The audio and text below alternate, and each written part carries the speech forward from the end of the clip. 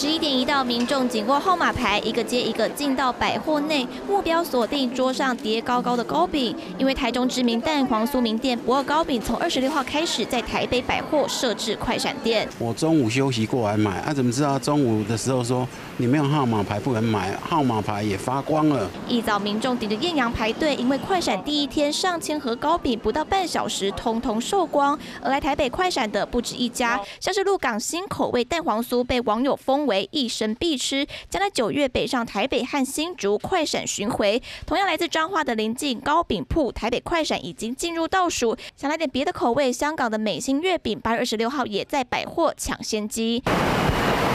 民众两只手臂用好用满，台北嘉德凤梨酥也是全力备战。不过民众太热情了，工厂无法及时满足所有需求量，因从二十七号开始，凤梨酥系列限购五盒，大概是九点的时候到的。然后现在排了大概二十分钟左右。那今天主要是来买凤梨酥，就是送礼给客户这样子。凤梨酥昨天已经买过了，今天主要就是来买那个太阳饼跟奶油饼这样子。早上的话凌晨就开始上班，早上我们都是二十四小时全力生产。来到另一家百年饼店台北黎记，今年特别吸手美国知名艺术家设计超模礼盒。你看，兔子头上顶着蛋黄酥，企鹅戴上柚子帽，童趣又应景。呃，我是来自越南。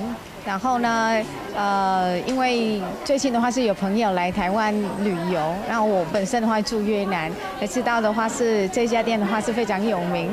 中秋节即将到来，除了烤肉团圆外，蛋黄酥大战也陆续上演。三立新闻王胜一离群台北站报道。